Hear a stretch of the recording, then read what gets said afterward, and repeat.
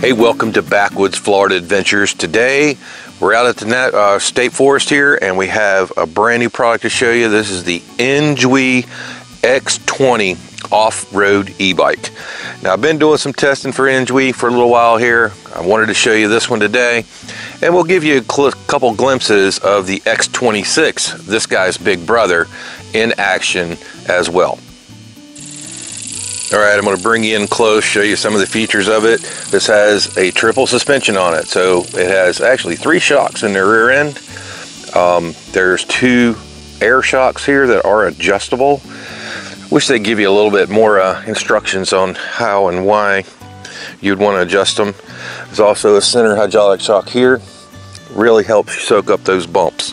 And of course we have shocks, adjustable fork shocks in the front like uh, most of the other e-bikes we tested. This bike is foldable. All right, we can release this lever here, fold the whole thing in half, as well as this lever here will release the handlebars. Fold the handlebars down, very easy. And that is, a, believe me, when I was putting that together, that's pretty sturdy looking lock in there. It's a pretty intuitive way that they got lock it together. It's got a really bright LED headlight on. I was checking that out last night. Got a nice leather seat. There is also a seat that goes here. I didn't install it because we're going to be putting a cargo rack on there. This is the display.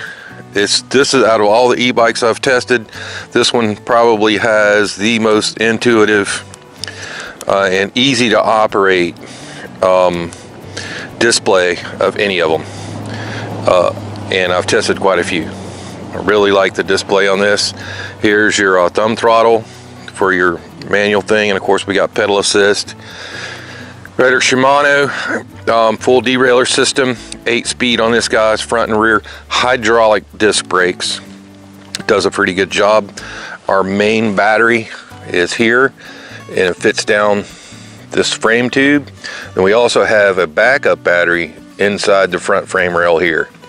Now, some of the improvements they've done with this X20 over the uh, X26 is they put a charging port access on the outside here so you don't have to fold the bike take the battery out to charge it anymore. Also the thing I like is they changed this plug here to a straight in plug because if you have to keep that seat the other one was a right angle plug and if you have to keep that seat down uh, it kind of hits everything right there. So they did fix that issue right, I've had no problems with this in the few test rides that we've done with it so far, but today we're going to go out here in the forest and give her a little off-road action. All right, so I went ahead and folded the bike up. It takes two hands. I can't hold the camera and do it at the same time. I don't have my camera person here today with me. But that is the bike in its folded position. You can also loosen this clamp here at the handlebars and swing and swivel that around. I just didn't want to lose my adjustment so I didn't do that but you can actually swivel that around and go even more compact. But that'll fit in most of your SUV crossover type vehicles. While we got it open, there's a look at the backup battery contained inside there.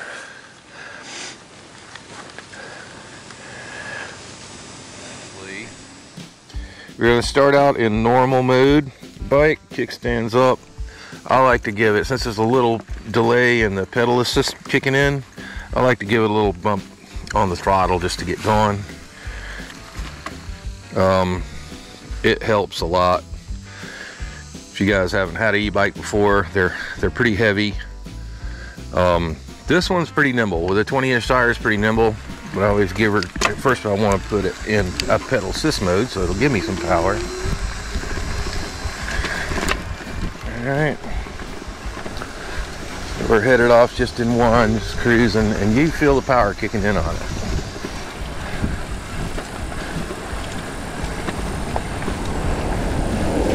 It's gonna be dusty. But we're gonna get this thing going here. It's a bumpy road.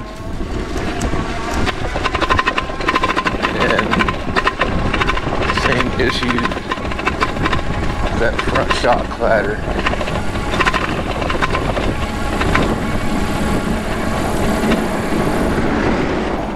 All right, we've reached the entrance to the trail area and um, I want to try to circle here and get down into some lower gears on the derailleur. I'll down on my pedal assist.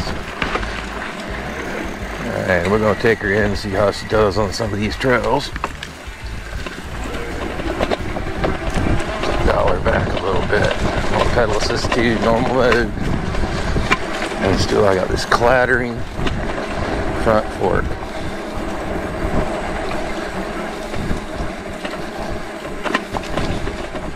So what I've done, I've gone into my Gaia app on my phone, selected biking, and I'm going to um, start recording my track. I'm recording now, so there's no chance of us getting lost. I'm going to put this phone, since I need a holder for it, I'm going to put it back in a bag.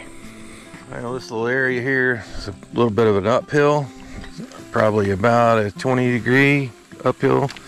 So I'm gonna go ahead, see how it does going up this hill.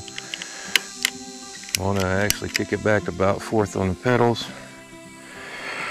See how it goes. Start with throttle.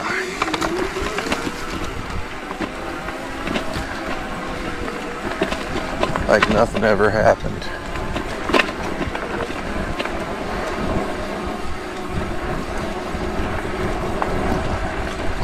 What we're doing today is scouting some places where we put some more trail cameras. I'm looking for any kind of uh, predominant game trails. I want to put them in places where there's not a lot of human activity, so we may have to get off a bit. This is a pretty steep downhill section. I'm gonna go ahead and test the brakes. Not going to need no pedals on this. We're just going to need levers.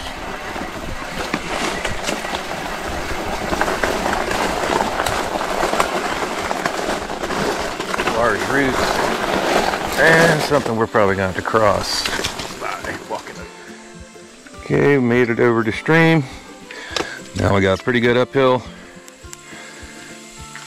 Let's see how it does.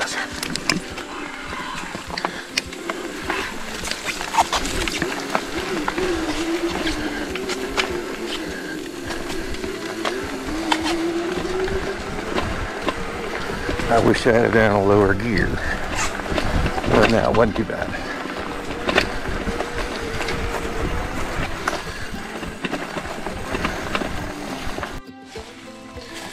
So we're riding along, we noticed this guy crossing the trail. This is your Florida gopher turtle, tortoise. And if you think all turtles are slow, these guys can go pretty fast for a turtle. We won't bother him anymore. Alright, back on the Lime Rock Road, so let's go ahead and crank this baby up and see how fast it goes. I've got all the speed limits turned down on it, so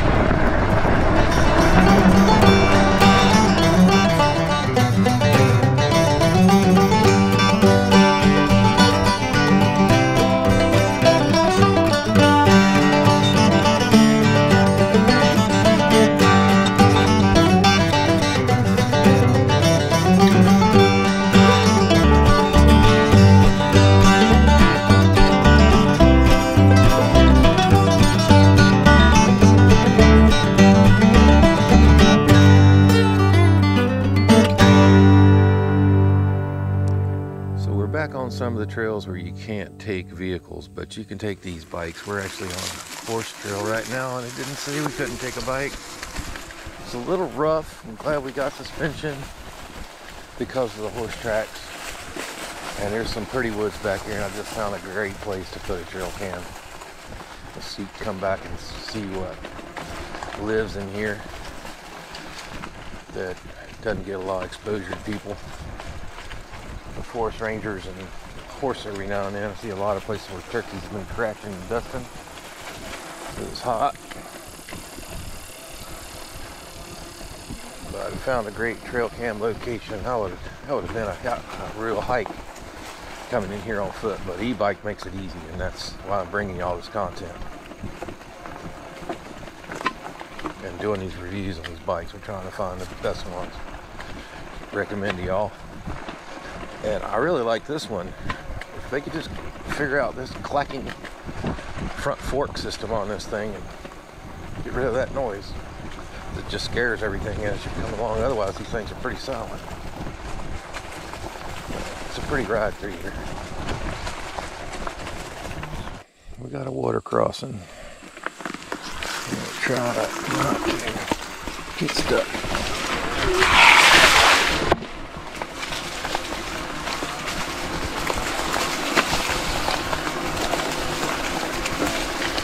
You guys climb out.